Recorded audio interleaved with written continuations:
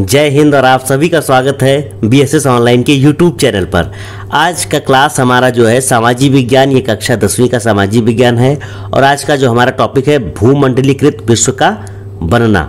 और आज के इस टॉपिक में हम लोग बहुविकल्पीय प्रश्न देखेंगे, जो आपके एग्ज़ाम में एक नंबर के आते हैं। ये आपके एक नंबर पक्के हैं एग्ज़ाम में। और आप लोग इसको आसानी से बस दो से तीन बार देख करके आसानी से बस कुछ मिनटों में याद कर सकते हैं। और आज का जो हमारा पार्ट है ये दूसरा पार्ट है, इससे पहले हम लोग पहला पार्ट इसका देख चुके हैं या फिर इसका जो पहला पार्ट है, उसको सुन चुके हैं। तो आज के क्लास को हम लोग शुरुआत करते हैं और आज इस बहुविकल्पीय प्रश्न के बारे में देखते हैं और उसको सुनते हैं। तो सबसे पहले हम कहेंगे कि जो लोग इस चैनल पर नए हैं, वो बी एस एस ऑनलाइन जो यूट्यूब चैनल है, उसको सब्सक्राइब करें और अपने दोस्तों में इसे शेयर भी करें। तो चलिए आज की क्लास को हम लोग देखते हैं। तो सबसे पहला क्वेश्चन देखिए यहाँ पे आ, मैं आपको एक बार फिर से बता देता हूँ कि बहुविकल्पीय प्रश्न बहुत ही हाई लेवल का क्वेश्चन होता है और ये आपको एग्ज़ाम में एक नंबर ज़रूर दिलाएगा। आप इसको आ, बार बार देख करके अच्छे से आसानी से बस कुछ मिनटों में याद कर सकते हैं। देखिए ये एक नंबर का आपको एग्ज़ाम में ये देखने को मिलेगा। तो चलिए हम पहला क्वेश्चन शुरुआत करते हैं और पढ़ते हैं।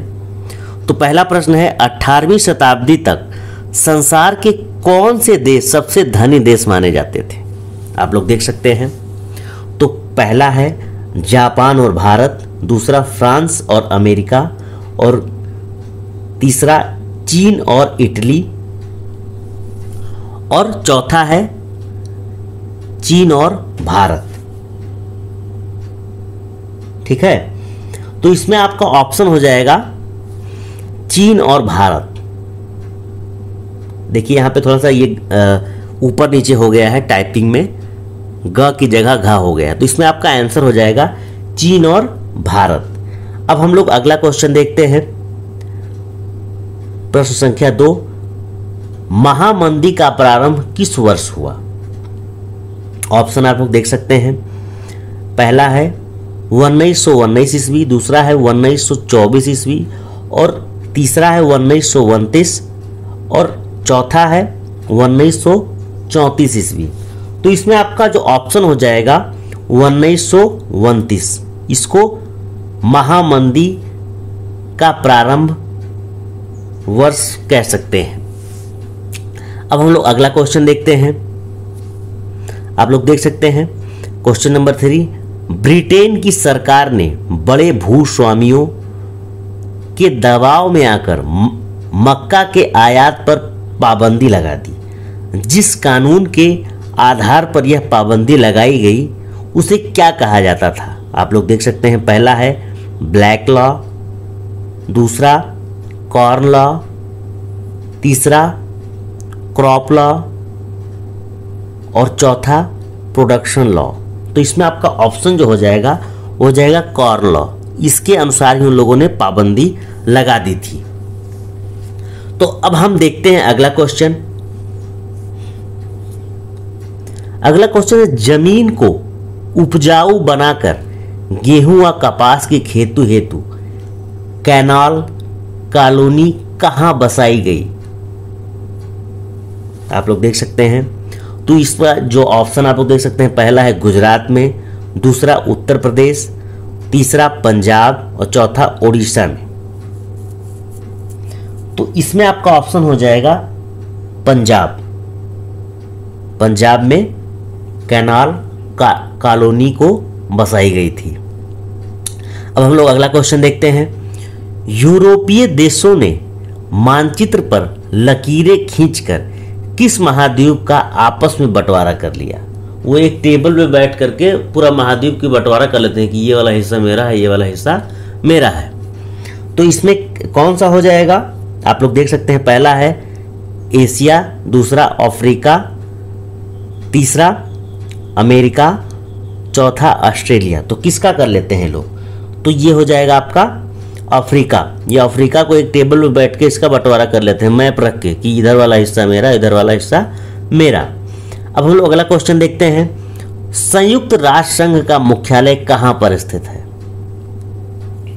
आप लोग ऑप्शन देख सकते हैं। पहला है वाशिंगटन, दूसरा जेन, जिनेवा, तीसरा न्यूयॉर्क चौथा ऑस्ट्रिया। तो इसमें आपका ऑप्शन हो जाएगा न्यूयॉर्क ग ऑप्शन ये संयुक्त राष्ट्र संघ का मुख्यालय है। अब हम लोग अगला क्वेश्चन देखे हैं, देखते हैं, अफ्रीका में किस बीमारी के प्रसार से अधिकांश जानवरों की मृत्यु हो गई? आप लोग ऑप्शन देख सकते हैं। पहला है फ्लेग दूसरा है रेंडर पेस्ट तीसरा है मलेरिया और चौथा है एनिमल फीवर तो इसमें आपका ऑप्शन हो जाएगा रेंडर पेस्ट इसके कारण अफ्रीका के अधिकांश जो जानवर थे उनकी मृत्यु हो गई। अब अगला क्वेश्चन देखते हैं। अनुबंध व्यवस्था को और किस नाम से जाना जाता है? जो अनुबंध व्यवस्था है और इसको किस नाम से जाना जाता है? तो पहला हो जाएगा आपसी समझौता। दूसरा गुलाम प्रथा, तीसरा सशर्त प्रथा, और चौथा है नई दास प्रथा। ठीक है? तो इसमें क्या ऑप्शन हो जाएगा? आप लोग देख सकते हैं। जो लोग चैप्टर अच्छे से पढ़े होंगे, आसानी से इसका उत्तर दे सकते हैं। क्योंकि हमने आपको क्लास में इसके चैप्टर को हमने अच्छे से पढ़ाया था। तो इसमें जो आपका ऑप्शन हो जाएगा, नई दास प्रथा। इसको अनुबंध व्यवस्था को और एक किस नाम से जाना जाता था तो हो जाएगा नई दास प्रथा। अब हम लोग अगला क्वेश्चन देखते हैं।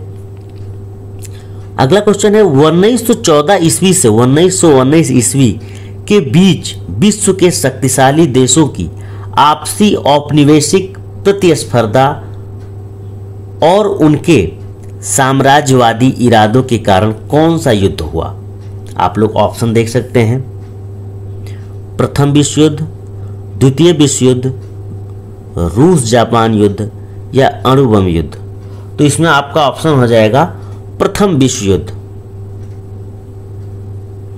अब हम लोग देखते हैं अगला क्वेश्चन। अगला और अंतिम कह सकते हैं। तो युद्धोत्तर अमेरिकी अर्थव्यवस्था को उन्नत बनाने में किस कार निर्माता की बृहत उत्पादन पद्धति का योगदान रहा। आप लोग ऑप्शन देख सकते हैं, हम लोग बुक में पढ़े थे, जो पढ़ा होगा फटाक से आंसर बताएगा। ठीक है?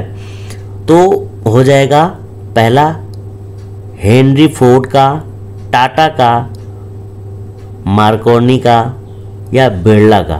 तो हम लोग पढ़े थे ना कि हेनरी फोर्ड का, क्योंकि इन्होंने जो कार बनाने की टेक्निक थी, उसमें इन्होंने क्या किया? जो बेल्ट था जिस पे कार चलती है, उसकी स्पीड बढ़ा दी और मजदूरों की सैलरी बढ़ा दी, जिससे कार दोगुना से भी ज़्यादा उत्पादन होने लगा।